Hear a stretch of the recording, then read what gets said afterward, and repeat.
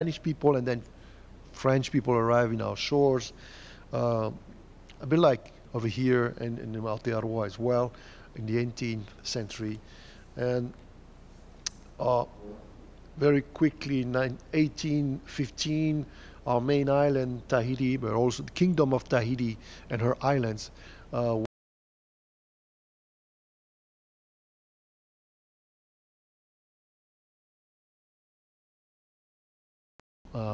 person that came to Tahiti, which is really funny. Uh, but we also have uh, some ali'i uh, in Tahiti, the Teva clan especially, and also have Tamatoa clan in the Leeward Islands, where I come from personally.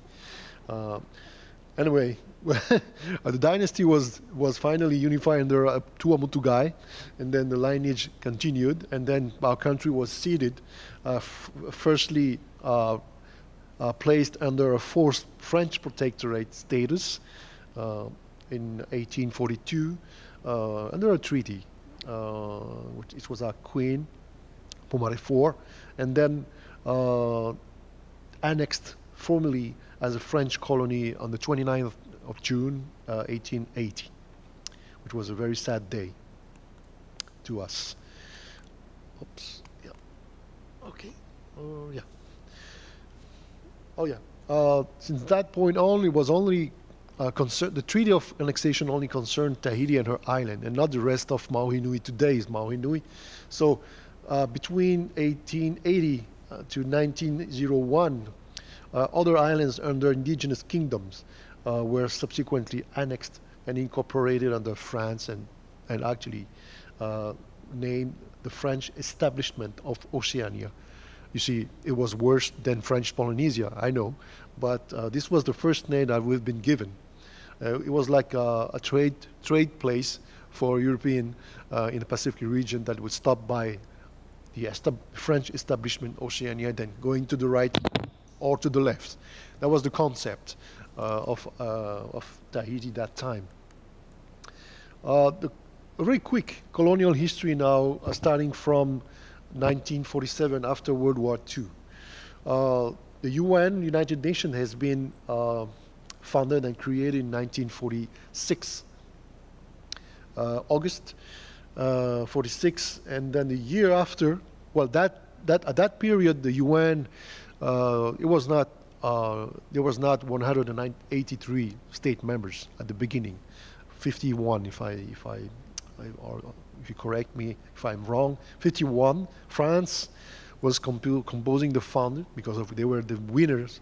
They were the, they've been the winner of the World War II at that time, and uh, they've been all all the, the powers at the beginning were re- requested to, uh, you know, submit a list of of possessions of territories that they had, their empire, their power throughout the world. And of course, the French establishment of Oceania were on the list, same as, uh, same as New Caledonia, Vanuatu. I'm talking about French side, and also some African countries, Corsica, Mayotte, and others.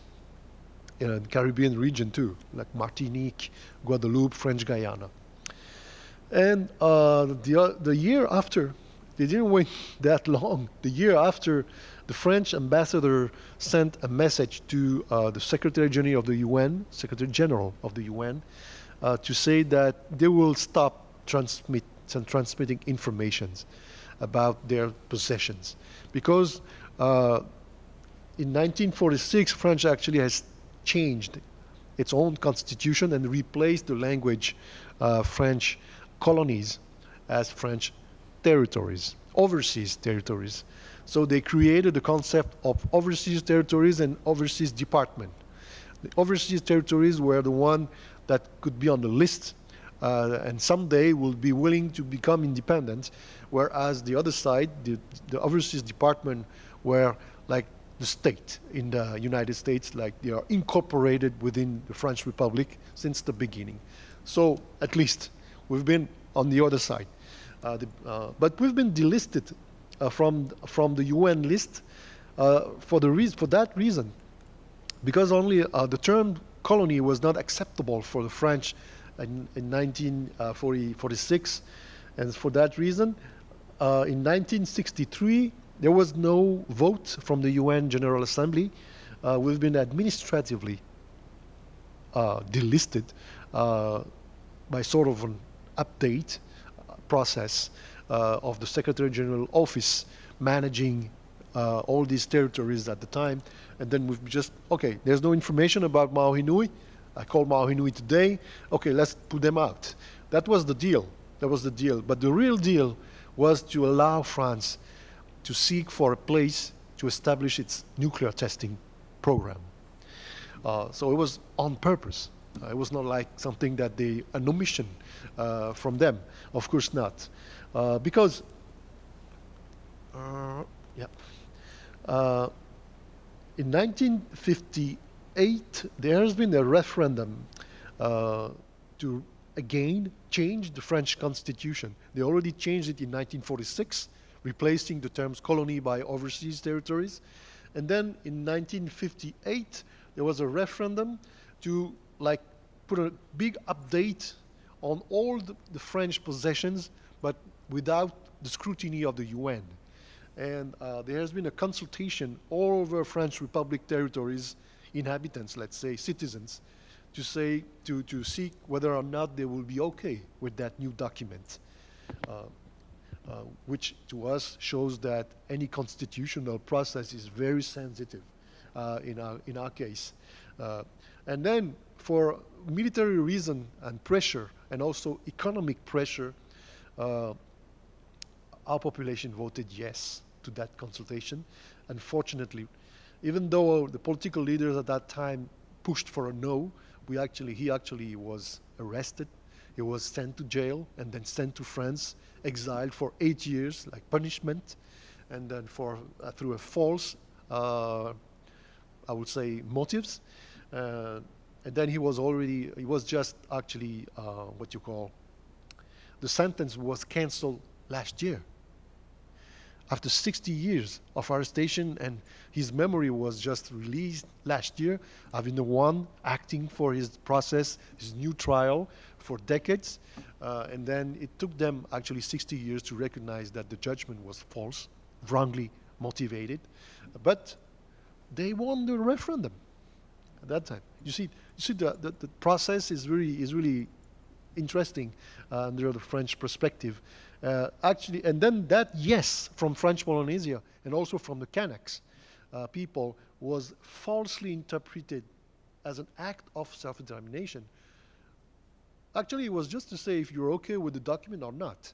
But the pressure was if you're not okay, you're out from the French Republic. So all, everybody in French Polynesia, Maohinui, was afraid and scared about, okay, what's this, what is this about? So they all voted yes. They arrested our leaders, first leaders, uh, uh, independentist, autonomist, they say.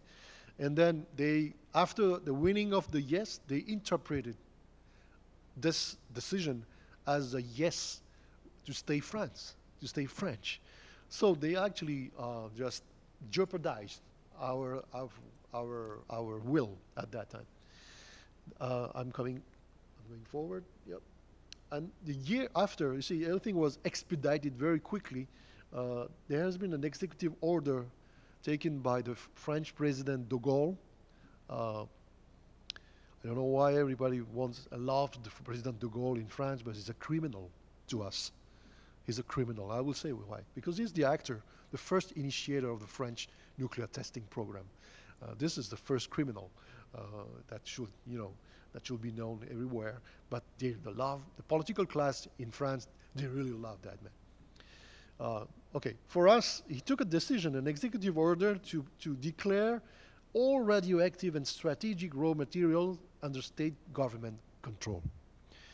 You know, uh, been on the coconuts and the beach sands and all these things. We play ukulele, probably like here in, in, in Hawaii for years, for decades, without knowing what was radioactive and strategic raw material. They knew that already since the beginning. Of course, uh, they control the radioactive, then the nuclear uh, industry, and still today they're selling their their plants uh, all around the world, making money uh, with with the uh, the approval of the political class in Paris. But we didn't know the second the second language the second uh, pillar of that decree was strategic raw materials. You know, today, this industry represents the digital age. Everything that is composed by screen, LCD, and everything else is, is just comes from rare earth, uh, strategic metals, and that uh, it was not the, under the knowledge of the French, the, the Tahitians at that time, but they already knew what they've been doing by, by putting this. Uh, and that decree is it, it's the spirit of that decree, that colonial decree is still existing today under all different statutes that has been voted for Maohi French Polynesia, uh, since, uh, from Paris. We cannot change that. And, there's a purpose. 85% of the percent of the trade and the industry of rare earth today is is under control of China. And then uh, European Union is just seeking how to find a way or to figure out how they will be more uh, less dependent from that trade, and uh, more and more that uh, the, the, the, exploitation of strategic raw materials of our planet uh, will be at the forefront of the next of the industry.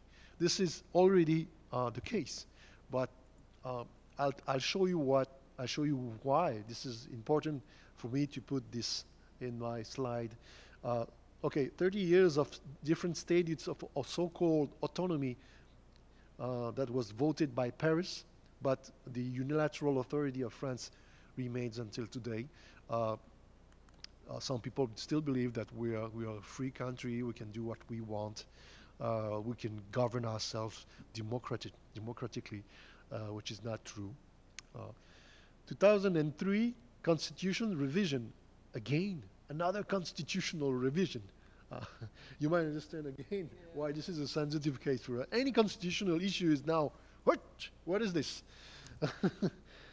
to us to us uh, so uh, that constitution that revision well, basically replaced and or canceled the language peoples overseas people was replaced by the language overseas population it means that we no longer are qualified to to claim for the implementation of anything that deals with the language people.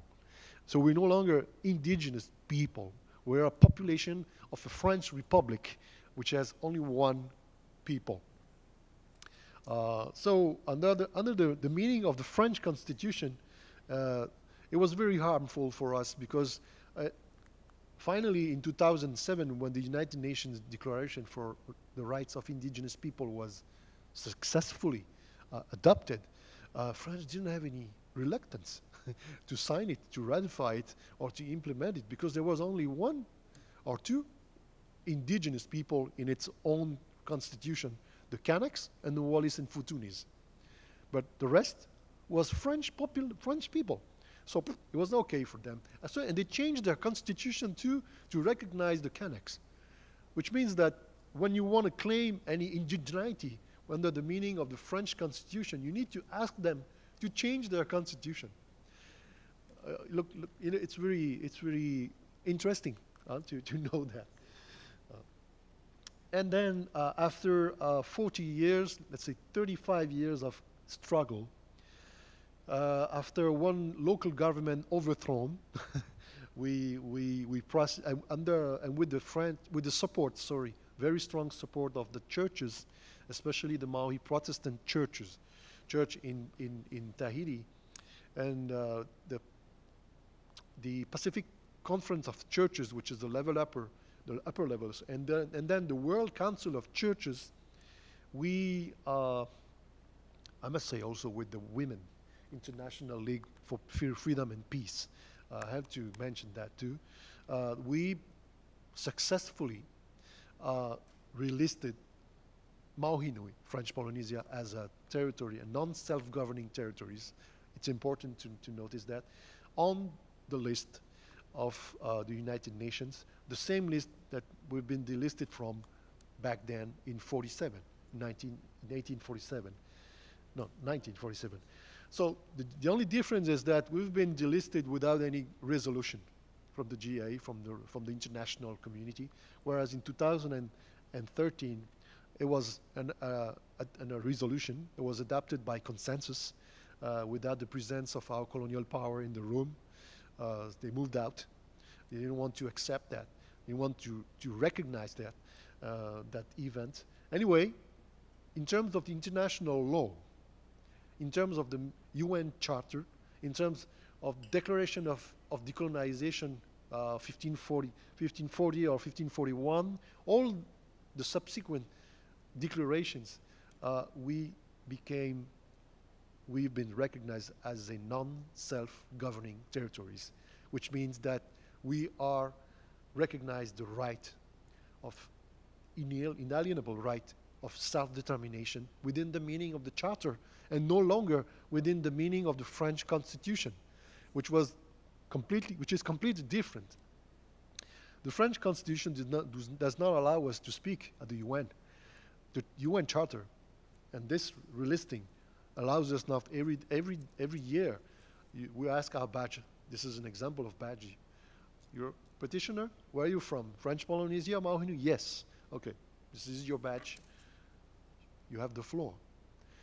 Whereas for 40 years or 60 years, we've been delisted, we have no rights, you stay outside from the UN, you just yell, or just march, anything, but no voice inside the, the, the, the big, the big arena.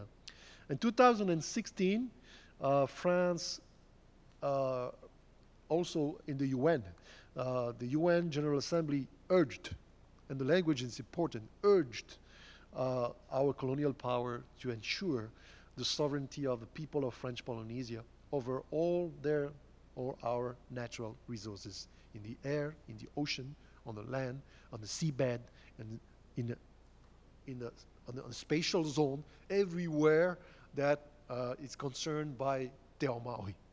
This is very important uh, because it, it, it actually hits back the decision, the decree taken by President de Gaulle in 1959, if you remember. Uh, so it's a now that decision of 1959 is a violation of the international law. Uh, we have a pressure now. It's, it's it means completely a different thing. And this is very, I, I know you understand that, uh, because it gives us another leverage. But I have to mention that there was another violation, an aggra another aggression that has been uh, uh, I would say, imposed by the colonial power, uh, by France.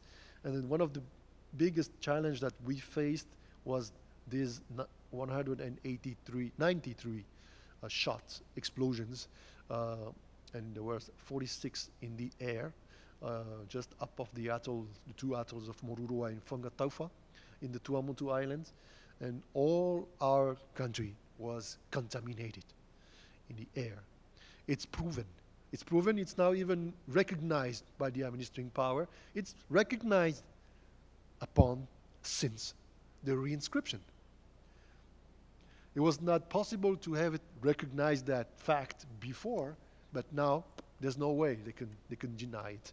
So they passed some laws in Paris in the chambers, Senate, or the National Assembly to try to put some compensation process but at least they recognize that. For us, it's not just a violation, it's a crime against humanity. It's very important to mention that. A communication has been submitted by our party, Tavini Huiraatira, uh, the, the, only ruling sovereignty party, not the ruling, the dominant sovereignty party in Maohi Nui, uh, uh, before the, the Bureau of the Prosecutor of uh, the uh, International Criminal Court and The Hague, Netherlands, uh, to qualify this period, this act of, of health aggressions, environmental aggressions as crimes against humanity. Uh, the population of Maohi Nui, uh, you, will, you will notice the blue, mar marine blue is those who are aged uh, between 0 to 30. So 61%, I'm sorry for the, for the, the, the numbers, uh, it's roughly 61% of the population that is aged under 30, uh, which, is our, these, which means that these are the ones that we need to convince. of the relevantness of our, of our struggle uh, now that we are relisted. In terms of ethnicity, uh, the non-Maori people represent roughly 25%, which means that we're still 75%, including all Tuamotu, Marquesas, Tahiti, and the Leeward Islands, and, uh, and of course the Australs. Uh, there's hope, but it's not necessarily, that's an uh, when you see that, it's an advantage, but it's not necessary, necessary that all are okay with the decolonization process, but there's hope because we're still speaking our language. There are sev seven languages in the Tuamotu Islands that we not, not necessarily understand from Tahiti. There are two different languages in the Marquesas Island. There's one uh, particular uh, language in the Leeward Islands, Maupiti, and there are two different languages in the Australs. Uh, so it means that we have plenty of, you know, I would say potential uh, in terms of culture, in terms of uh, the recognition of what we are. Uh, so it's not a matter of identity. It, the matter now, the, the, the real issue now is to convince all this 75%, including those non-Maori people that we include, that the economic model that we want to, to, to, to submit, to propose, to advocate is viable. We have a resource. We've been trained to just say yes to France. We've been or even conditioned. we're put in a box to say that we cannot live without that. And because of the style, of the profile of the colonization that we've been imposed, uh, it's a very weird and interesting uh, style. because everybody knows that colonization is roughly something that comes from a big colonial power, a big power, a big country that wants to, uh, a greedy one, that wants to uh, just possess. And possess to do on these small territories what they're not daring to do in their own. That's roughly uh, colonization. So there's an intent, possessions, and there's also a process, how to, how to manipulate people so that they will love you. And this is what happened. Uh, roughly, the, the, the, French style of colonization is to make people understand that uh, we've been into the darkness for 2,000 years, and that they sent us the light. And so we've been really, really dark people. And, and because of that, they saved us. it was a humanitarian mission. Uh, and of course, we've been there, uh, some of us, uh, and still, in the, even in the political class of today, uh, just falling into that trap, not wanting to stay out of the box. Uh, but the, the, new, the, style, the new style of colonization uh, today is a, is a contemporary one because it's no longer only to, to possess other territories and small dependencies, but it's also to use their resources to sustain your own one without using, using yours.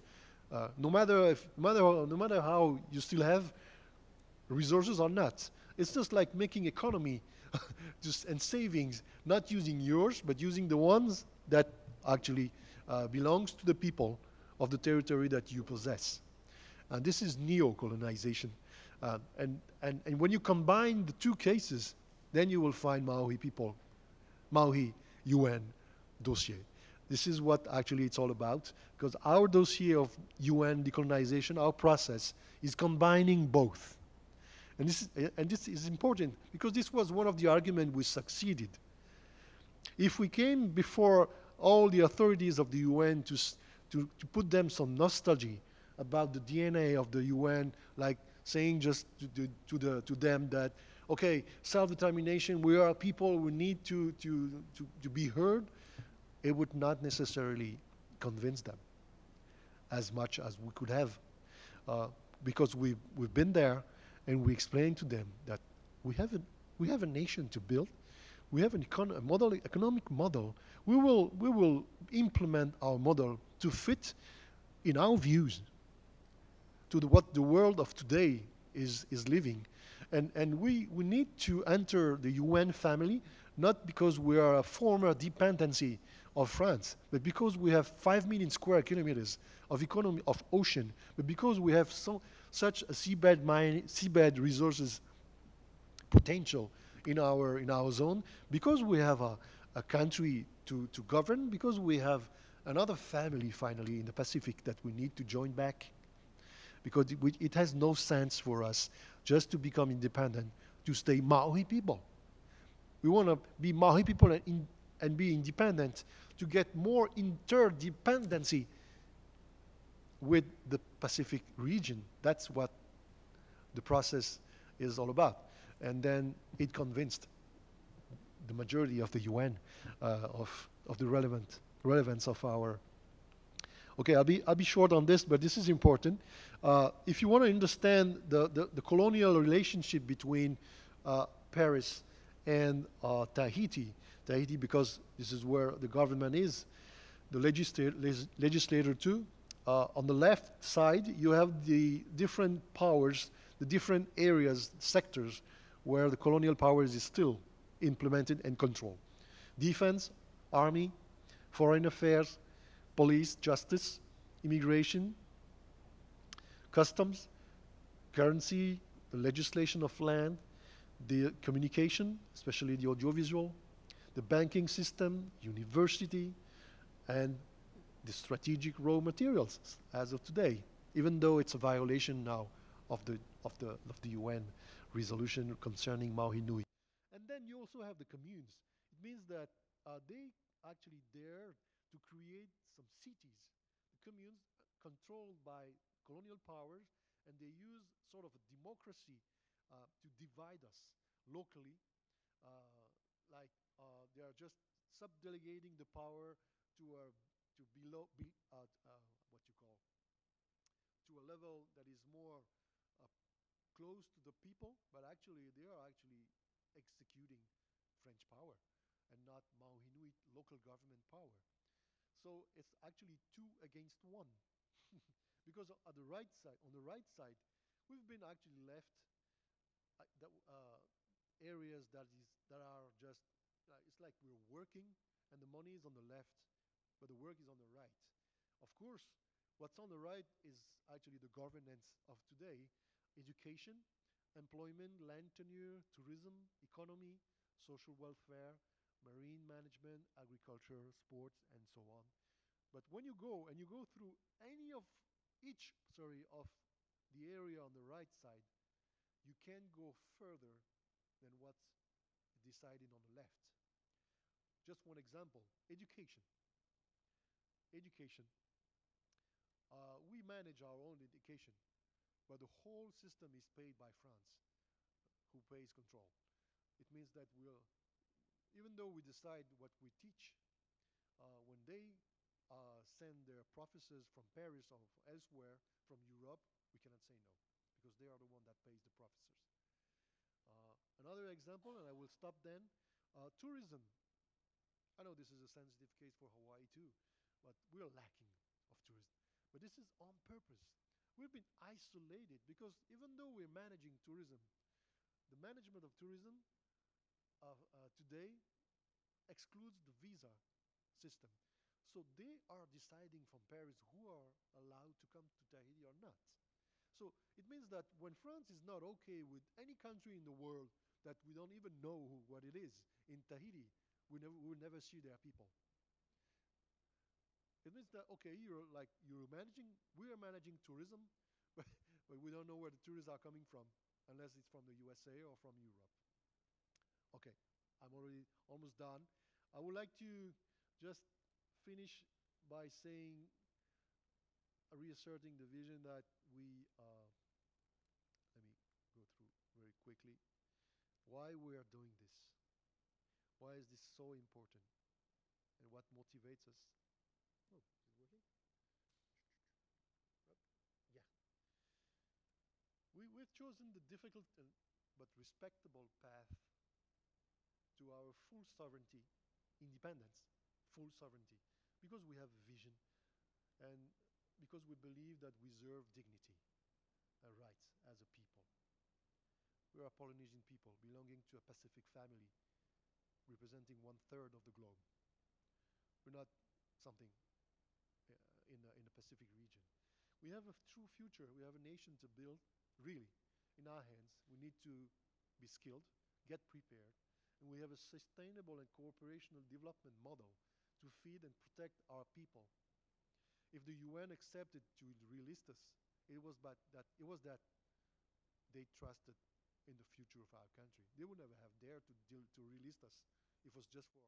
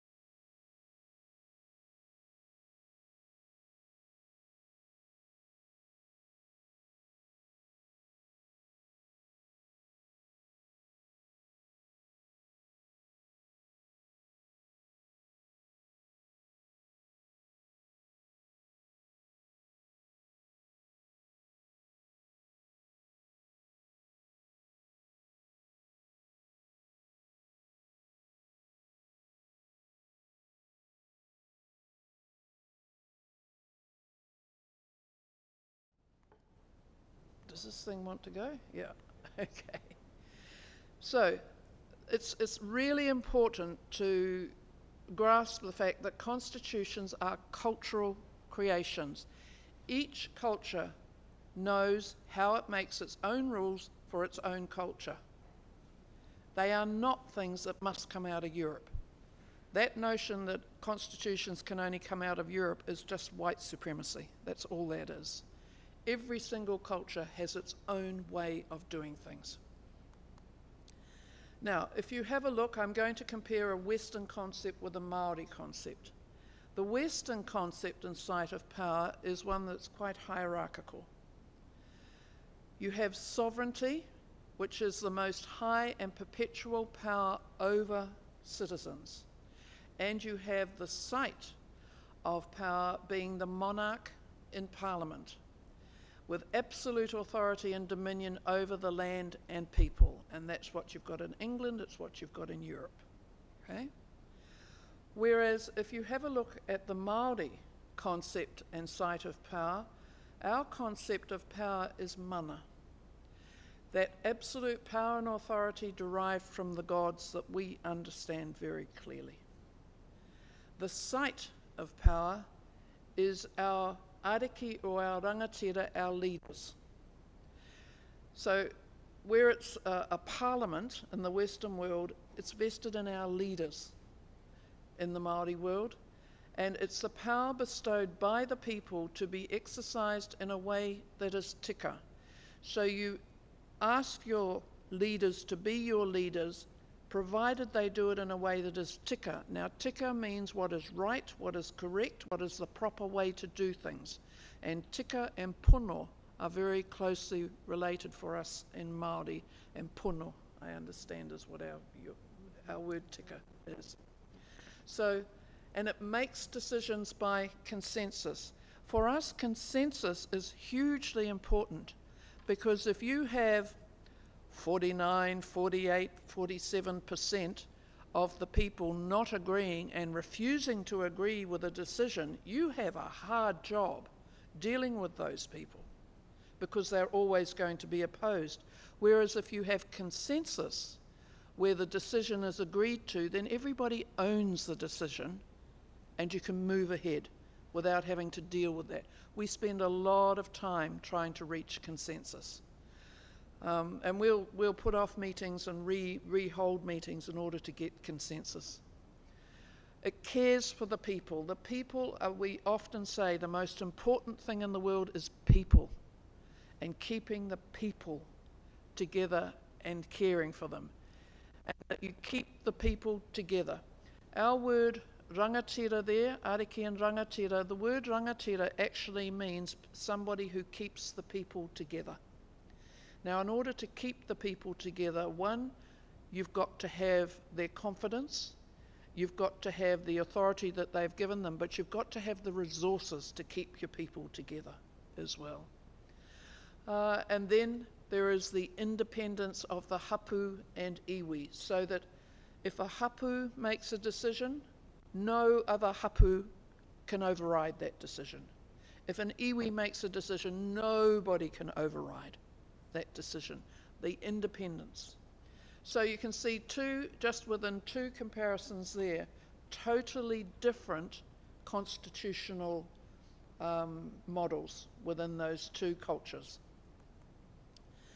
Now, the foundations that we were going to build it on, first of all, and I've already covered this, so the tikanga, or our own laws, our Hakaputanga o Te Rangatiratanga o Nu Tireni is our 1835 Declaration of Sovereignty. That, uh, that it was a document um, written by the, the rangatira of the North, the, the leaders of the North, saying that sovereignty lay within the hapu, not within the iwi, within the hapu. Uh, then the 1840 Tiriti o Waitangi, the treaty we had with the British, but we also, for the constitutional transformation purposes, looked at these international measures. Uh, there's the Karaioke uh, Oka decision declaration of 1992, which was the inalienable rights to lands, territories, resources, and water. And these were all around um, United Nations uh, work that was being done. The Mātātua Declaration of 1993 on Cultural and Intellectual Property Rights. The United Nations Declaration on the Rights of Indigenous People, which of course we all know was finally went through the General Assembly in uh, 2007, opposed by the CANZUS countries, by Canada, Australia, New Zealand, and the United States. Now, every single one of those countries in the end had to support that declaration. Reluctantly, in New Zealand's case, they did it in 2010 after the United States, that was Barack Obama, who enabled that, uh, and then Australia and Canada and New Zealand had no choice. They had to follow. But the, that declaration is hugely threatening to the New Zealand government. See, France doesn't have Indigenous people, so it doesn't threaten France. Pai, cunning, all right. anyway, all framed within the right to self determination. So that's what we, the foundation we had to base it on. We also looked at the Sami uh, in Scandinavia. Uh, we looked at Bolivia, and Bolivia was a model that we really looked quite closely at, and we're quite afraid of what's happening in Bolivia at the moment. Uh, and then the Native American um, examples where sovereignty is sort of recognized for several um, uh, nations within uh, of Native Americans. The Sami warned us when they heard that we were working off theirs, they warned us not to use theirs as a model because theirs leaves uh, the one in Norway, the Sami parliament in Norway, leaves the Norwegian government with a right of veto over the Sami parliament, which is a complete, it defeats the whole purpose of the parliament. Uh, all right, now the values. This is what our people spent the most time on, was the values. And what they said was, if we get the underlying values right, the rest of it will flow from it. The value of tikanga, to relate to or incorporate the core ideas and the ought to be of living in Aotearoa. Now, this is about, tikanga is about, it is our laws, but it is the right way to do things. Now, you have to determine what is the right way to do things. And we all have very good ideas about what is right. And what the people said as we went round is they said, but yeah, we know what's right, but we often don't do that. So, what are we going to do about that? And Moana said, You will, must always hold a standard up there that you know is right, even if you don't always meet it. You must have it there so that you know what to aim for. And that's what you should set for your value of tikanga, is what you ought to be doing. And that's why he called it the ought to be uh, of living in Aotearoa the value of community to facilitate the fair representation and good relationships between all peoples. Now, this is extremely important for us because, as I said before, we are mana whenua. We are responsible for all of our manuhiri, all of our visitors who come in, and we must make sure that they're all well looked after, that they all get on with each other and get on with us. Even when mean to us, and horrible to us, we're still responsible for them being able to live good lives. Uh, the value of belonging, to foster a sense of belonging for everyone in the community because many communities in New Zealand feel alienated. Uh, it's, it's not, mostly it's um, non-whites who are alienated, they're discriminated against. Racial discrimination is really bad in New Zealand, but it's also our youth, our women, our LGBTIQ plus, our, our gay people, um, our disabled people, they're all marginalised. And that, we, we made sure that we asked those people if they wanted us to come and talk to them. And they all did. They all wanted us to come and talk to them and said, we want to be a part of the community. So that's why this being able to belong was very, very important. The value of place. Now, this is to promote relationships with and ensure the protection of Papatuanuku, which is it's our Mother Earth. Now, we took this out of the um, Bolivian constitution, where their first law is the law of Pachamama, who is Papatuanuku, Mother Earth. And it's really simple. Without Mother Earth, none of us would be here. And if you don't look after her, none of us are going to be here. So you must look after her. And that's something that is really fundamental to Maori ways of thinking anyway. You don't look after your mother, you're gone. So the value of place. Then the value of balance, and that's that logo I showed you at the beginning to ensure respect for the authority of rangatiratanga, that sovereignty or power and authority that Māori were guaranteed would always be ours, and the kāwanatanga that was delegated to the British to look after their own. That you must have a balance between those two authorities within the different and relational spheres of influence, and I'll talk to you about those spheres of influence uh, when I get down to the vision.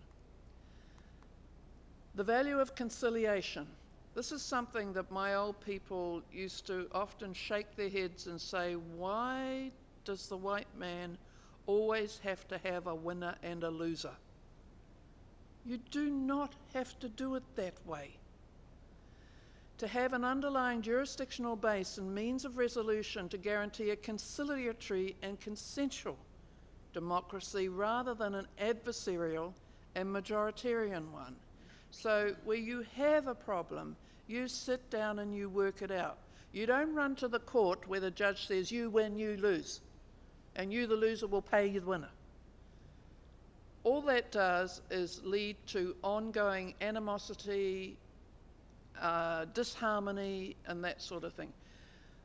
Our old people have always said if you have a problem, you must sort it out in such a way that after the problem is resolved, you can all still live together and live together happily. But if you're going to have winners and losers, you're never going to have people living together happy, happily. So, conciliation. The value of structure to have structural conventions that promote basic democratic ideas, ideals of fair representation, openness, and transparency. At the moment in New Zealand, we often don't know what goes on inside our government departments, inside of our parliament. There is no openness. Everything is secret. They'll tell you only what they want to tell you. That is no way for a people to have any confidence in what is going on in your country.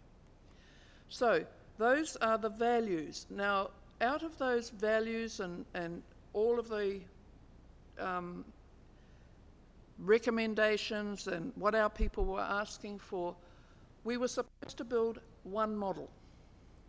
Right. Well, we couldn't build one model, we built six. Because we had to be able to, uh, to um, cater for everything our people had asked for. So the first model, uh, you, you've got three what we call tricameral models where you've got three parts to your structure. You'd have your tino rangatiratanga sphere. Now, in that sphere, Māori would make decisions for Māori, for Māori resources, for anything Māori would be made there. It would be quite separate and independent of the Kāwanatanga sphere where the Crown and the government is now. Our people had nothing to say really about what the shape of the Crown would be, what the structure of the Crown would be. The only thing they had to say about the Crown was they are to have no responsibility and no right to have any say over anything Maori. That belonged in the Tino Rangatiratanga sphere. Now, where the two of those overlap, you come together in a third body with, with representatives from each of the two going into a third joint deliberative body that we called the relational sphere. So elect people out of the tino rangatiratanga sphere, out of the kāwanatanga sphere, into the relational sphere.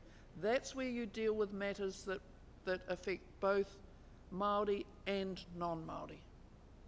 But Māori issues in the Tino Rangatiratanga sphere, non-Māori issues in the Kāwanatanga sphere. Okay? That's the first model.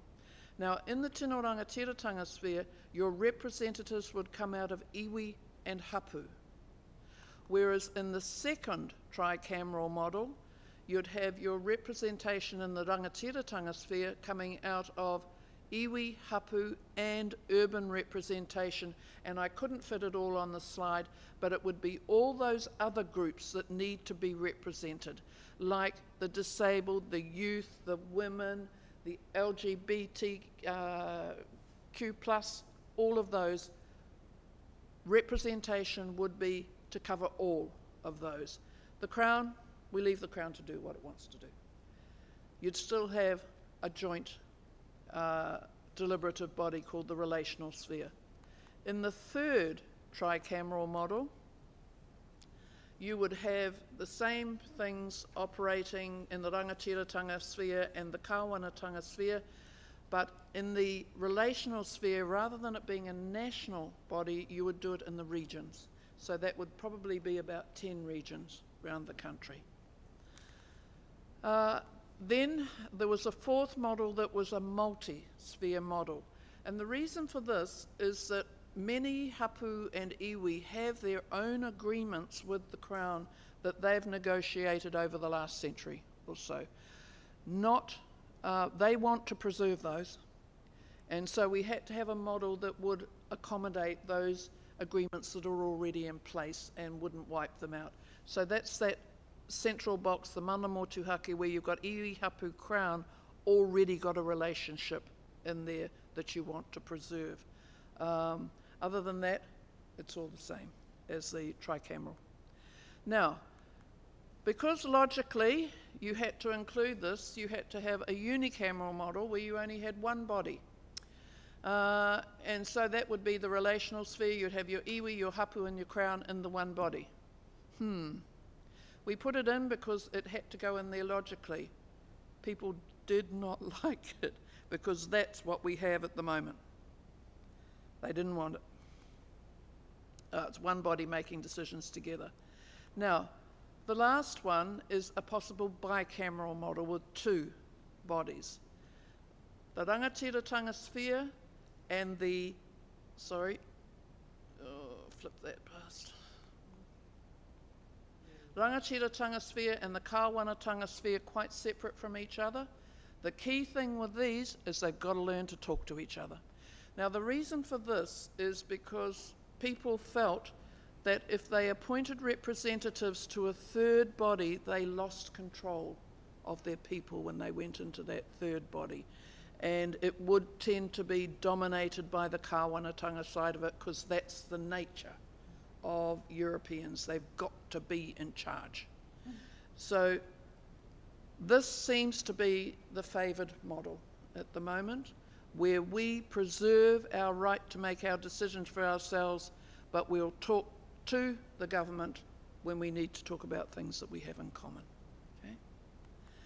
Now, the recommendations that were made from 2016 on, there would be discussion amongst Māori there has been a huge amount of discussion um, to the point now that I go to Hui and I hear, I never thought I would hear Maori talking constitutional transformation because those are complicated English words. Well, I was wrong. And especially our young ones. They keep coming into the Huis and saying, we must have constitutional transformation. I'm looking at them and thinking, do you know what that means? And they keep talking about the right to make their own decisions about their own lives. Government, get out of our faces and leave us alone and stop telling us what to do. Yeah, you know what constitutional transformation's about. Okay. Annual agenda item on national uh, hui of lead Māori organisations. Uh, certainly in National Iwi Chairs Forum, it's not an annual agenda item. We meet four times a year. And at every single one of those meetings, I report on the um, constitutional transformation and how it's going. That we would have a Māori Constitutional Convention in 2021. And that would be to bring all Māori together having had time to think about what is needed for constitutional transformation and to start making decisions about which model are we going to use. Uh, well, when I reminded National Iwi Chairs Forum that that was what we had agreed to, these recommendations back in 2016, I said that to them in November, a few months ago. They said, Why do we have to wait till 2021?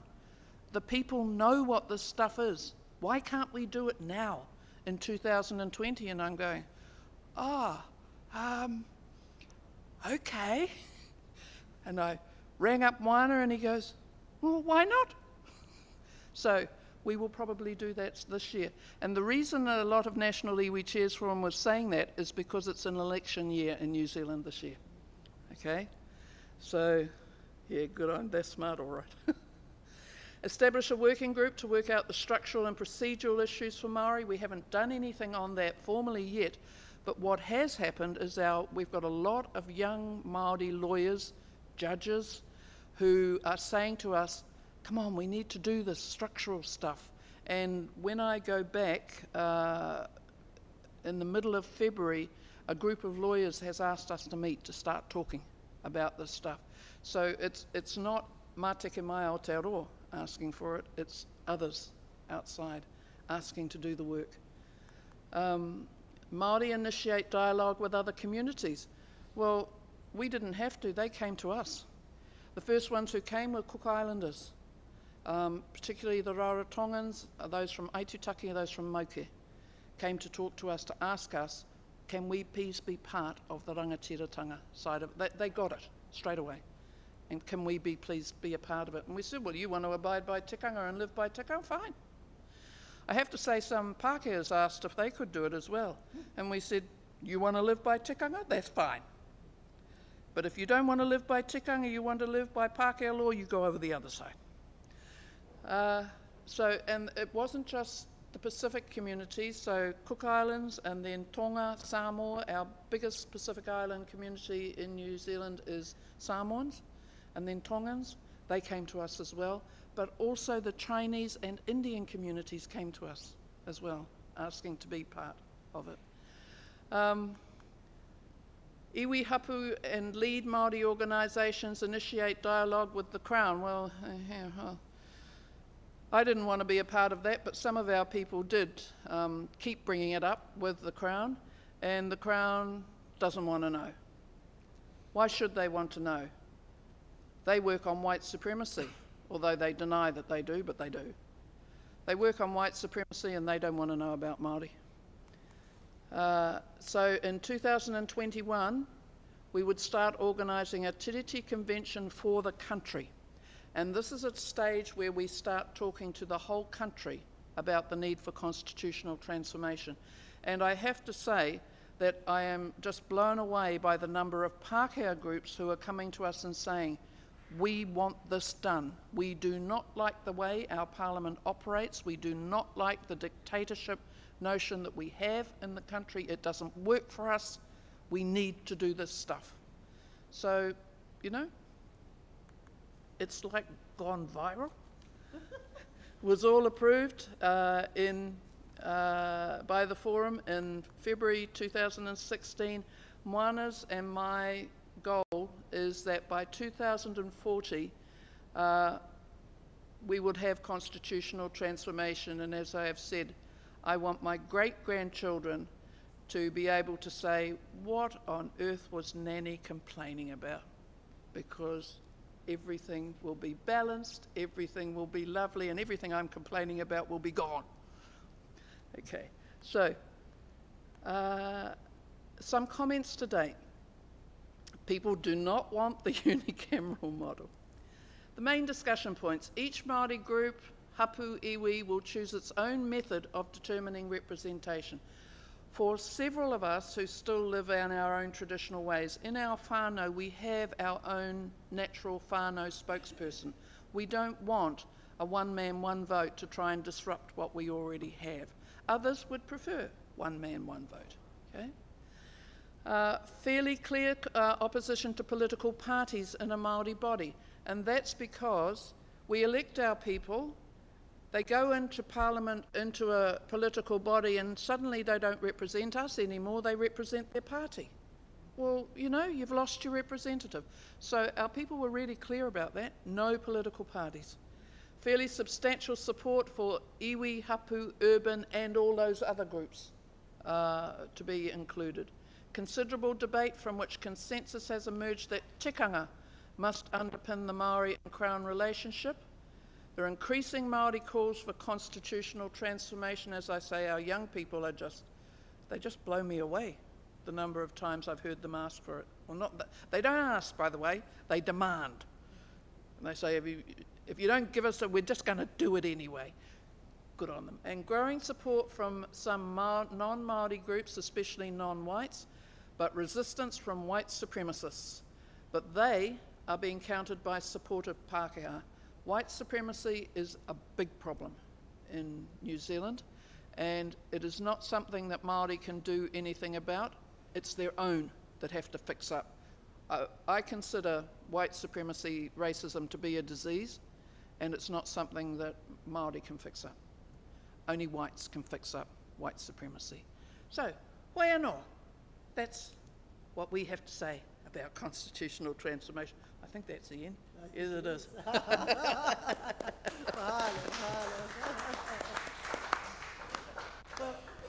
I'd like to invite uh, you folks who have been listening to ask questions of uh, our experts here. What's going on in uh, Aotearoa with this whole many, many years they've been working on a constitution, very different from the kind of uh, constitutional arguments we've been having in Hawaii. You know, some of us got together in 2016 to write a constitution in one month and we thought we knew what we wanted because actually we'd been working on constitutions for a while. Um, my good, good friend, uh, Dr. John Osorio, who's now the Dean of Hawaii Akea, was standing outside the gate holding a sign saying we shouldn't be doing a constitution. And I think what's come out of that is that we surely have differences of opinion, but let's do it with aloha, because he's still my really good friend.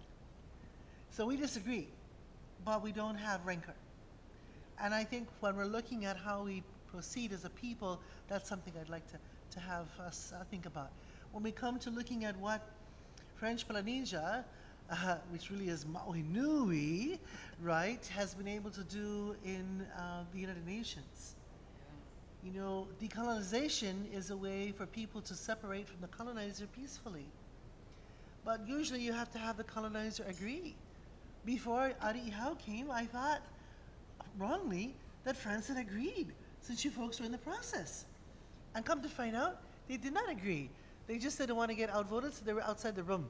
They left the room. I said, oh, that's an idea. So there's much to learn about all of this, and to have a Polynesian cousin, our Tahitian cousin, to be at the table at the United Nations to speak for Maohi Nui.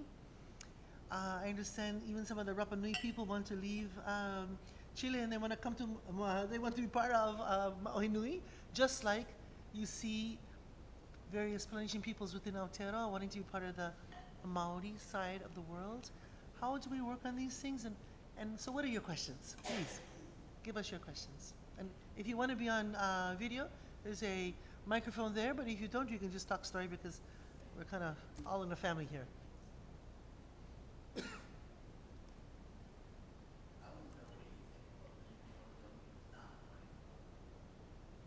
You want to know what the New Caledonians, wh- what do you think about the New Caledonians not, not wanting to be independent, but want to stay part of France? Yeah. Well, I will be very uh, we're respectful with the uh, our, our, cousins, with their brothers. Actually, we're partnering with them uh, for so many years, for six, 1970, 78 actually. Uh, well, they've been having their first referendum last year or two years ago, and uh, at the opposite of what uh, the pro-France expected, which will be uh, way way down. Actually, they've they've reached for the first shot 43 percent, which is really not bad. Actually, uh, Paris was shaking. There was an earthquake and they actually expedite their French president in, in Nouméa just to calm down. Uh, so uh, they're having their second referendum this year. Yeah, uh, and these referendum are actually all under the UN scrutiny. So UN is actually uh, involved in this referendum, and uh, actually it's it's uh, well we're hope hopeful. It's it's you know we, we thought it will be very difficult because most of the the sovereignty movement in Kanaki, New Caledonia lost their leaders. They've been assassinated uh, for, for some of them, and most of them passed away. And uh, those who are those who remains actually still onipa'a, but uh, they have to deal now with the UN and then to deal also with this referendum. Their main uh, challenge, uh, their main legal challenge was to, uh, well, actually, Kanaki was a colony of settlement. They've been actually sending out, the French was sending out all prisoners all around France to uh, New Caledonia, to Kanaki. And this actually, they created a third social, or uh, I would say, uh, category of people there that they call Caldoche, that did not feel, no longer feel like being France or European, but of course not accepted by the Kanaks. And they have the, the, the third group, which is which are the the mainlanders, we'll say, or the Pakeha, the, the Popo'a. So there are three different.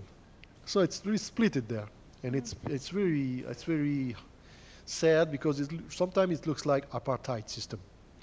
Really, really. Uh, but there's an accord.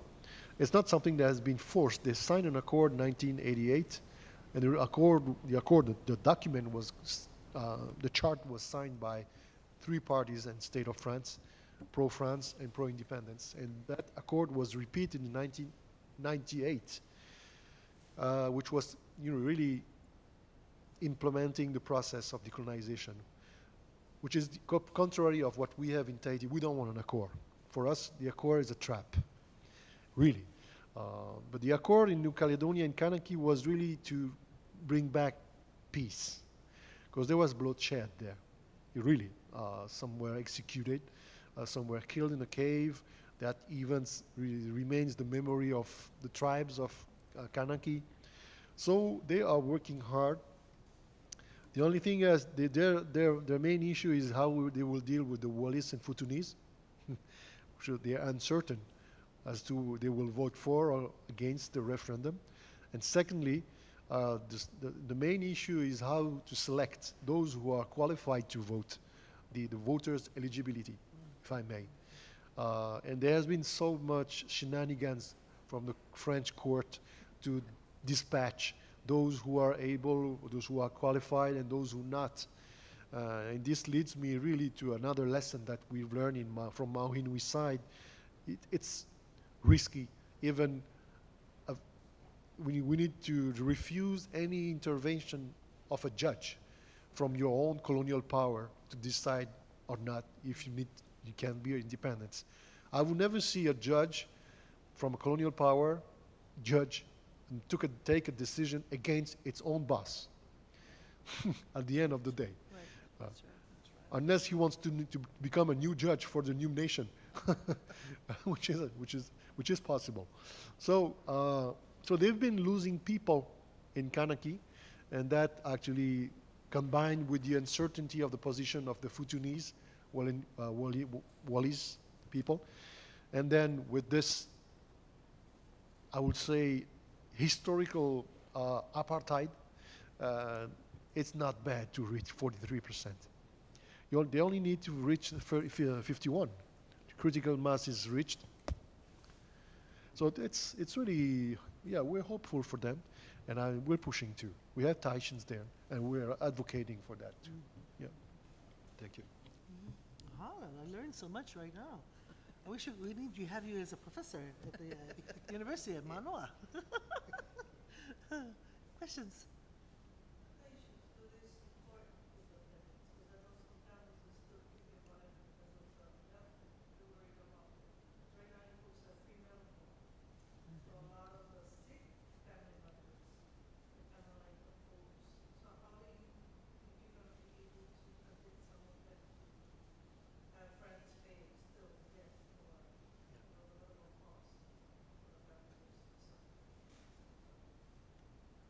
Thank you.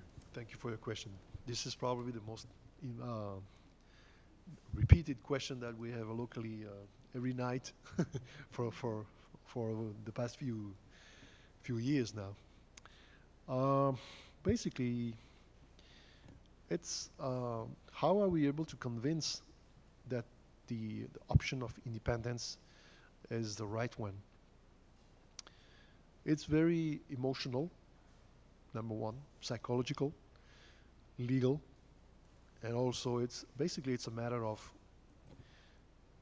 uh, what you're going to do with your resources. Would you like the resource to become a French resource or a Maohi Nui resource?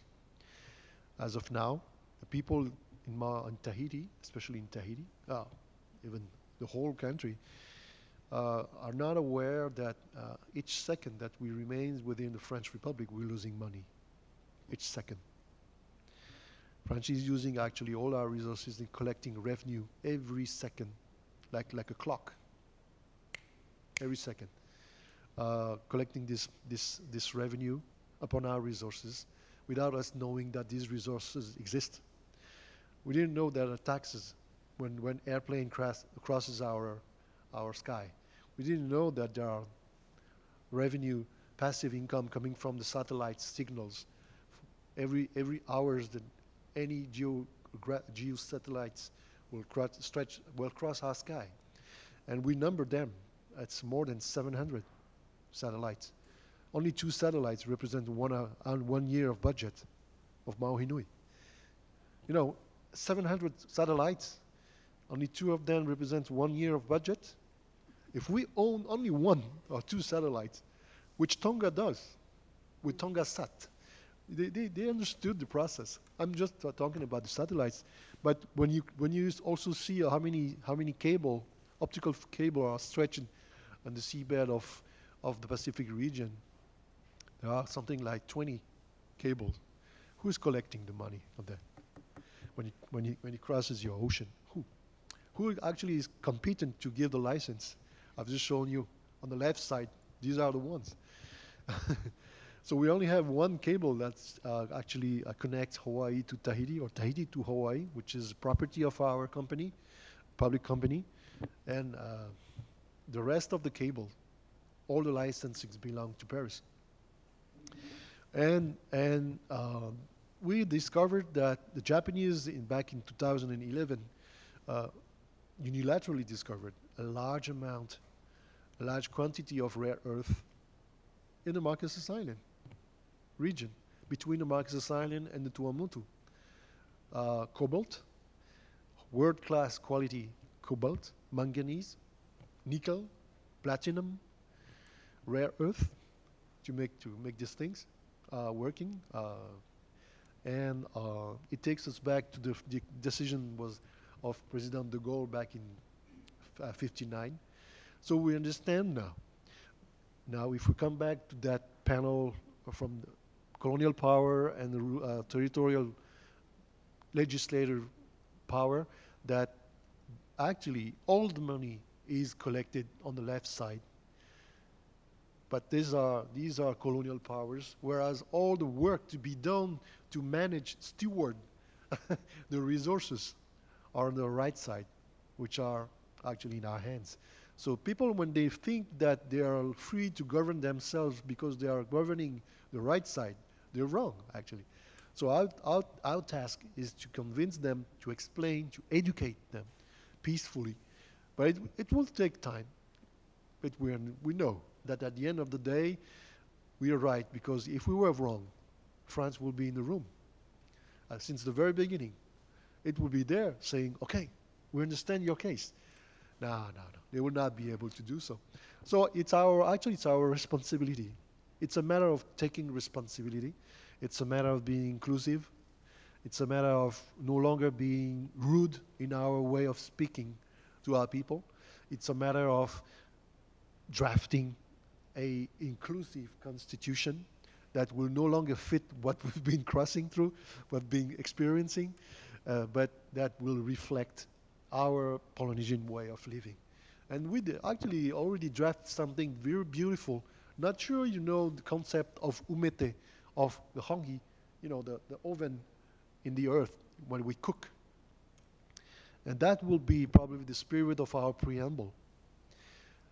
It, because we have an old saying in Tahiti that when, when people are coming by, passing by your house, you're not letting them go. You call them to come and eat. Always hospitality. This is what we call Polynesian Maohi Nui. So our constitution needs to be reflecting this value first. And for that reason, it's not going to be a repetition of France uh, oversea uh, territory, like Tahiti at the center, and the arch- archipelagos will be depending on, on Tahiti. Our, each archipelago needs to become a state with their own language, and it will be federated, not as you understand the federal system, like within the U.S. system, but our own federation, not the Micronesia style either, uh, because it's really dependent to the U.S. Congress. Our own way of federating our own states. So Marquesas will be one state. They will have their constitution, language, land, re- tenure, resource, culture, very strong. Leeward Islands, Tuamotu, and all Australs. And I don't know about Rapa Nui, but uh, they're also part of our people. But uh, it's up to them to decide. For our part, we will do our job. And when we present things this way, and we present thing, we present a vision, and we present a value, and we present something that connect people together, they will just come start to understand. And, and, if we, and if we present th- them the thing that the money actually is just drawing away by and collected by our colonial power, it will talk. It will really, really penetrate people, and that it's working. Because if we succeeded this in the UN, the best part, but the hardest part, will be uh, uh, at home. Yeah. Does we that have a similar uh, question for our own discussions in Hawaii about independence. How will we have medical? How will we have education? You know, where's the money going to come from? It's not coming from the United States. And I think uh, the, the question we really have to ask is how much will it cost? I want to know exactly how much it'll cost for us to have free medical like they have in Tahiti. One time I went there and I got sick and I went to the hospital and it cost nothing. I couldn't believe it. Right. So how do we how do we make how do we find out what that costs, and how do we find out what Atiʻihau was talking about? How much money are we not getting from say all the satellites that fly over us and the airplanes that come through here? How much money are we not getting, and what is that amount? So I think we need to have some some real discussions about uh, economics before we uh, jump off into a political decision. We need to look at how much everything will cost, and how much education will cost for our people, and uh, can we do a better job than what America's doing now? I, those are the kind of questions we ask, I know, and I'm sure that's what's been going on in, in your country as well, right? Because when you have free medical, and when you live in a country that has no free medical like us, and where people don't usually have medical, can't go to have medical um, because we don't have enough money, then you think, wow, you got it great there. You got free medical. What a nice colonizer you have. but when you, as you say, when you think about how much money they're making off of your resources, what we need to make sure is that we know how to handle those resources as well, I think. So that's another. But other questions? Yes.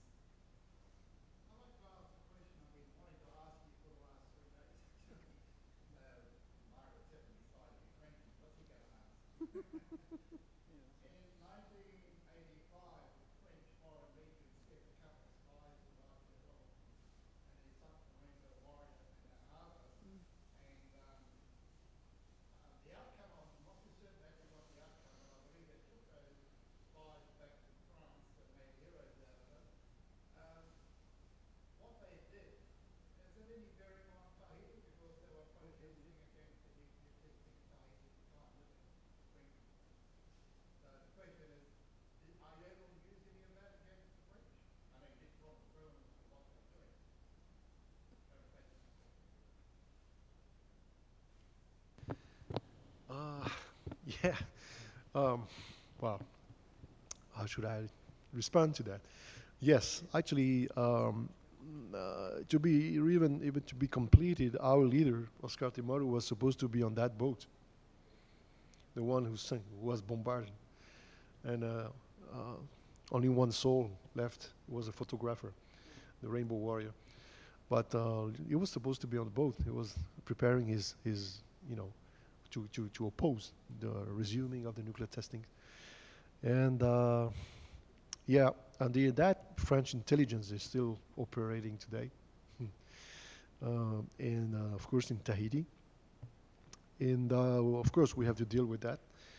Uh, you think that deals uh, that gravitates around the nuclear issue is under close scrutiny. So uh, what we're doing now is that uh, we're acting smartly, smartly too. We're, we're learning. We have our own intelligence too. We're, yeah, we're starting to understand how they operate because you need to, to profile your colonizer at the end of the day uh, also. They know, they know that. They know that. Uh, uh, once we actually succeeded in released our country on the UN, it really just blasted things that was blocking us. We then be become able to, uh, you know, leverage international uh, tools, treaties, and so on. Even though we're not qualified for the UN DRIP, yeah, we're just a nation in a building. It's it's even better, I would say, because they are now we are like in a in the in a room preparing to become a state. uh, it's it's even better. Uh, yeah, it's actually uh, Maohi people is an indigenous people, but uh, it's a majority. We not consider ourselves as a minority. So we're we're a people for a state, and they should be the minority, basically. Uh, maybe someday they will become an indigenous foreigners, I would say, uh, and they should have their own embassies in our state. yeah, that's a good vision for us. Anyway, uh, regarding the nuclear testing and what happened in the past in New Zealand, this is something that the diplomacy has taken over. Uh, so now they are, the countries, those who are living and acting uh, in both sides of diplomacy are now retired. So uh, at the UN, at the Pacific Island Forum, and any other arena where France is, you know, you know, getting close to Australia or New Zealand, they no longer talk about that. Yeah, it's like something that is wrongly, on, from my personal view, uh, you know, engaged. Uh, today, um, they've made, uh, we believe that our cousins for the Pacific region, those who are in the Pacific Island Forum, I, I, I, I clarify, have made a, a, a very big mistake in letting us Maohi and New Caledonia become a full member of the forum. Because this is what we've been asking for, but in one condition, after being independent. But now, everything that deals with all this, the left sides of the story, you know, all the, the colonial powers uh, that is discussed within the Pacific Island Forum, it's not us that is speaking, it's the French ambassador. It means that actually we are becoming now, uh, at the moment, uh, the best stances for our colonial power within the Pacific region, under the blessing of the two uh, big players that I've cited. Uh, so the, in my, in a sense, they just, like it, they're acting like they've forgotten the Rainbow Warrior uh, se uh, sequence. this is my personal view, of course. anyway, we're still discussing with uh, New Zealand and, and Australia in, in New York. We're still keeping connections. They've been supportive of the relisting. I can state it publicly. Uh, at least they were not being opposed. They were not likely to oppose. We've been uncertain uh, as of their position, but uh, on the 17th of May 2013, they've been okay, which is a great sign. Anyway, uh, today uh, we know that the nuclear testing issue is not only a, a French Polynesia Maohi Nui issue. And that lesson coming from the Rainbow Warrior sequence needs to stay in the mind of those who are still acting. And of course, President Temaru, who was supposed to, the, supposed to be on the boat, on the ship for the last crusade, uh, is still living. He's still our president in Tahiti. He knows, he remembers us very well of to pay attention to that. And this is what, this is the reason why he actually decided very hardly, courageously, to uh, submit that communication like, like claim. It's a communication because it's our party that uh, did that uh, to the ICC uh, Prosecutors Bureau uh, in Netherlands. Uh, if any one of you guys needs to know about thi- this communication, let me know. It's public. You know, the truth is inside. 60 uh, pages of truth regarding the history of the nuclear testing from the colonial side of it in Maohi Nui since the beginning until today. And this is in the bureau of the prosecutor of the ICC now. So uh, the, tru- the truth must be told. And, uh, and then our people is, was struggling for so many years, uh, scaring about the intelligence of France that will block them in terms of being compensated, recognized as a victim, as, uh, whereas now it's every year at the UN an issue that is discussed, being discussed.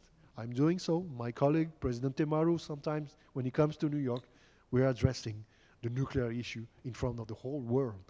This is really uh, something that, uh, that is an outcome for, our- from us, from our perspective, coming from the Rainbow Warrior period.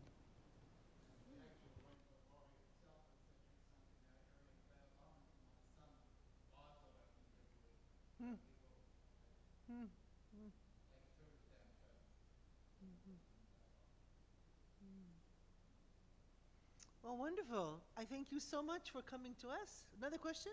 Yes, go ahead, question.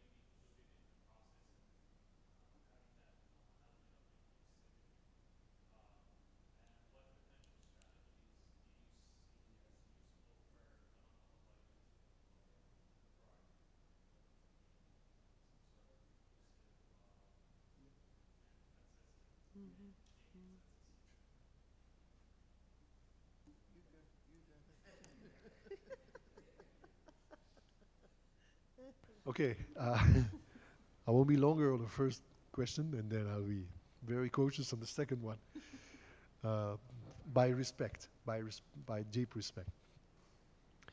Um, as I told the first day, uh, what's true for us is not necessarily true for others, and what was true for others is not necessarily true for us. That's that's what guided us. So it's really a case by case situation even though we're connected by linkages, ancestral linkages, of course, uh, we need to profile the colonizer. And you have a very strong one over here. Very, very strong one. But they're a state. You need to become a state and as, as equal one day. Uh, this is our hope from Tahiti. So what we did from our, from our end to, to gain consensus was, uh, I can tell that, was to uh, choose the peaceful way.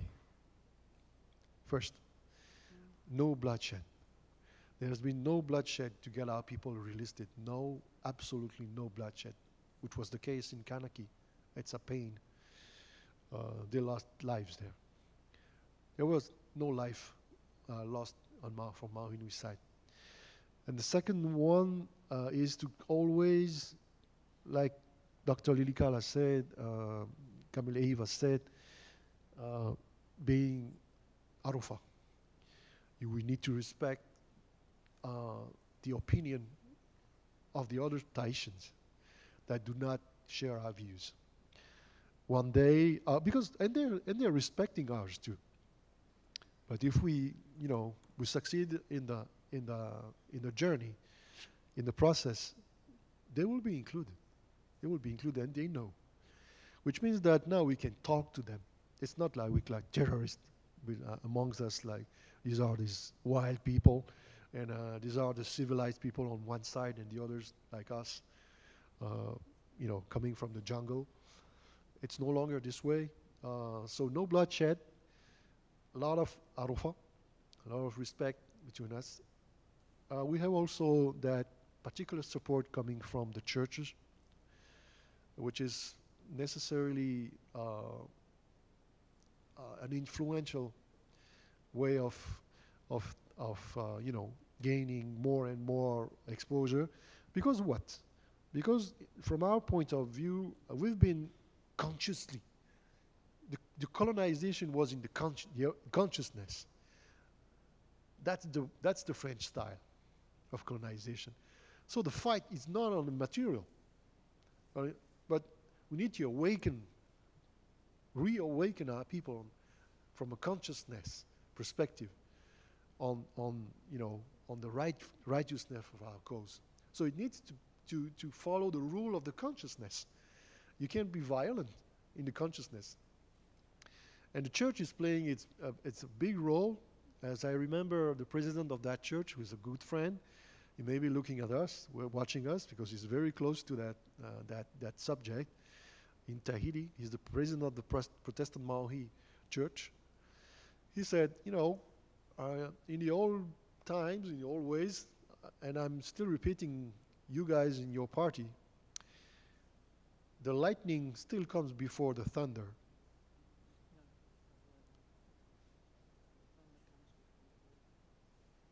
Oh, the lightning. it means, yeah, the lightning comes before the thunder. Then you, you can know, you know, and then you wait the seconds between the lightning and the thunder. And you, and you know if it is far or very close. Uh, the thunder represents the consciousness, the spiritual, the invisible. The, no, the, the, the, lightning, I'm sorry, represents the, the invisible. And the thunder is the voice, the politics, I'd say, that's the people. Uh, so you need to be prepare first in the spiritual, and then it will be much more easier on the material. It's a great teaching that we had. And so uh, we recognize the position and the stance of the churches, and we also are Christians. Most, more of, most of us uh, are actually, actually, we are faith people. We have, we have a free of freedom of faith, but uh, we recognize that it is needed to not just being uh, acting on the intellectual. This is what we, we, we actually have chosen to. And our leader, President Temaru, just always taught us, uh, and all the elders of the party, it is both. You need to act on both sides.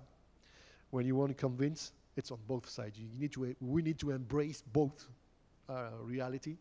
And, uh, and this is actually the, sec- the, first, uh, the first dimension, lightning, is so much uncontrolled by your colonial power whereas they can control your world, the visible world, but you can control, still control your invisible world.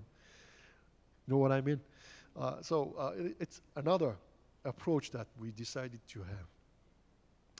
And number three, uh, we, I would say, uh, we're still, we're still uh, trying to uh, act as if there's no change there's a consistency since the beginning. Uh, we, we, need to be credible so that when, the, when you start something and you say something to, the, to, our, to your people, when we say something to our people, uh, next year we, we, we, must not change it. We need to keep the cap, the cape until the end. So uh, it means that you need to, to really be specific and accurate first on the choice you make, and then after that, you're required not to change until the end. So the consistency of the party, of the movement that we represent, is, is recognized now. Uh, in the UN, they know who is Oscar Temaru. They know what is Tavini Huiraatira. They know that been, they've been there since 1978. They've been uh, facing the nuclear testing, and now he's still there. And the releasing time, and the releasing day, 17th of May 2013, he was in the room. And is still acting for independence. You know what I mean? Cre this credibility, there's nothing that can replace that. All over the years, it needs to stay focused and consistent. And that is another way uh, to gain more and more inclusion. There will be always resistance. Money, money is making it, uh, it's an energy, And money is doing what probably you know also, or in Aotearoa, in Hawaii. This, it's a very, very uh, volatile energy. Uh, and of course, most of the people today are, you know, sticking by uh, what's the best choice regarding the money. Uh, but we believe that um, at the end of the day, Maohi Nui, the body, the spiritual body, the, the physical body, the 5 million square kilometers of marine ocean, including the 118 island representing Maohi Nui, has something to do in the Pacific region and probably in the world. It's something probably to show to the world that when you face 193 shots of nuclear testing and you're still able to smile and to trust to your wellness, you're still able to trust into your nature. However, it is contaminated. This is a way also to, to, to, to show something else, resilience. And, and we would like to show that part of uh, human resilience to the world, and they understand that now. Of course, in Europe, it's much more difficult. We're there in the cold. that's, that's, for us, it's, uh, it's really uh, something that, you know, you have to put some magic. You have to put some momentum. There's an emotion between the freedom and independence and the, move, the sovereignty movement. And when you, you need to keep that flame uh, so that people will just always look to the, to the light and say, okay, this is over here, this is over here. So I, I, I commend my elders and I commend all the elders of different countries that are doing that job. It's very hard. It's very hard. It's what you call ingrate.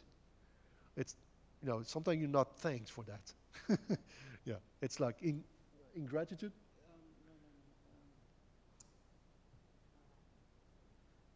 You, you, you very rarely thanked for that, Yeah. unless you're dead. Thankless. Yes. It's a thankless It's a job. thankless mission. It's a thankless job, but it's a very respectable, noble, and expected. Because I believe that it's not only something that is come from today, it's our ancestors that are guiding us to do so. Yeah. Thank you. Okay, and, and should cling on? There you go. Uh, for Māori, uh, again, all I can talk about is what we have done. So if you're wanting to build consensus amongst the people, what we've found is the colonizer did a very good job of dividing us in order to rule us, and then denying who we are, trying to redefine us, get anthropologists and whoever to redefine who we are. So, to bring our people back together, what we found the first thing you had to do was one, try and restore the language, because within the language, that is key to who you are. But even more than that was to restore to the people their sense of identity, of who they really are. That, that's why the classes that Lilikala does on the genealogies are so important. Because, in, like in here in Hawaii, at home, your genealogies deci- decide who you are, and you must know who you're or where you're connected to right the way around the country because there have been intermarriages all around the country. If you don't understand who you are, then you can't function properly as a Maori in all of your different uh, iwi identities. So that was the first thing was to we had to give the people back the confidence of who they actually are. For that, we decided our, our my father's generation decided that they had to retrain us again in all of our genealogies, all of our histories, not the ones that, that the Pākehā said was our histories, but our own histories. So for, for my hapu, it's the fact that we come from Raiatea, from where Atiʻihau comes from. And how did we come from there and, and what happened that made us come from there? All of the stories about who we are and why we ended up doing things we did. We also had to, um, knowledge is power. And that, that became really clear to us. And when our people don't know who they are or what their rights are in that, it's very easy for the colonizers to come in and just drive huge wedges in amongst us. So it was not only about who you are, it's about what happened when the colonizer came here and really understanding exactly what he was doing when he came. And particularly, and I found it very helpful more recently for people to understand the doctrine of discovery and what that was about, that it is about white supremacy, it is about whites being able to go in and take over the countries of others and enslave people and exterminate people and just take charge of everything. That's white supremacy. Um, Pākehā in New Zealand don't like you talking about that sort of thing, but it's a reality. And unless you understand that reality, then you don't know how to deal with it. And that's what they've always relied on is, well, you can't prove that we're racist. Well, actually, do the research. You can find out, and that's what we teach in the courses. Now, that's all very well in the university. Our people on the ground have to understand that. So what we did was we, when we had those original hui in the 1990s, we all said to each other, go home and run, we call them wānanga, but they're like workshops where you bring the people up to speed and you ask them who come to your wānanga to go home and teach their children and teach their grandchildren. Let them know who they are, what their history is, what their rights are. Because most Māori had no idea of what they were. That empowers them so that when you have an issue that comes up, you can pull on all of that in order to make a decision about the issues. But if you're asking them to make a decision based on what the colonizers told them, all we do is end up at each other's throats.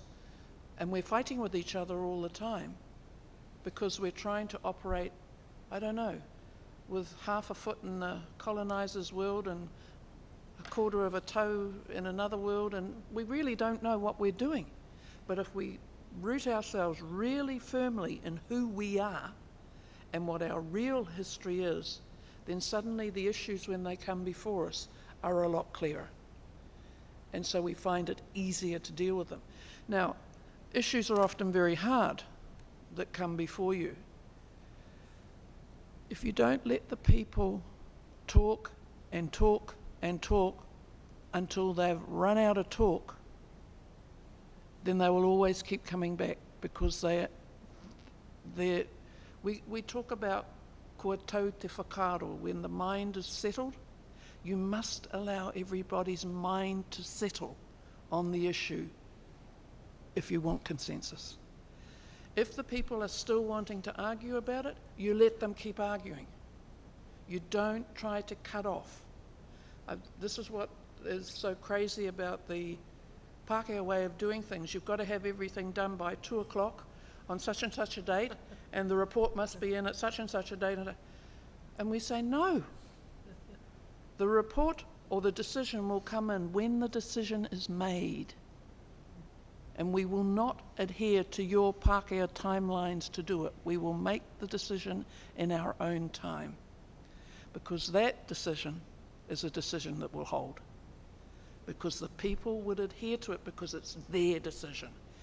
Now, the other thing that I learnt when I was very young was never go into a hui where a decision is needed to be made with your own mind made up about how that decision is going to be made. You must go in with an open mind because if you don't go in with an open mind, you can't hear what everybody else is having to say. And when everybody has put everything in, then you can clear your mind to make a decision.